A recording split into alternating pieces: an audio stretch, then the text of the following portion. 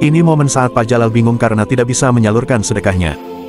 Kalau saluran sedekah udah ketutup, gue jadi merasa nggak penting lagi kan.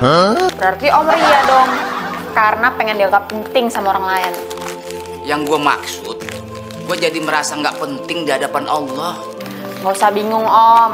Uang ini kita salurin aja ke tempat lain. Misalnya panti asuhan. Saluran lain kan udah ada jatahnya sendiri dari duit gue yang lain lagi. Sedangkan ini khusus gue sediain buat kampung kita. Tapi udah hampir sebulan ini, kenapa nggak laku ya?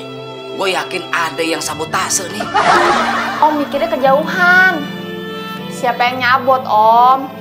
Mungkin rombongan setan yang nggak demen ngelihat gue sedekah mulu. Gue udah dianggap jadi musuh nomor satu.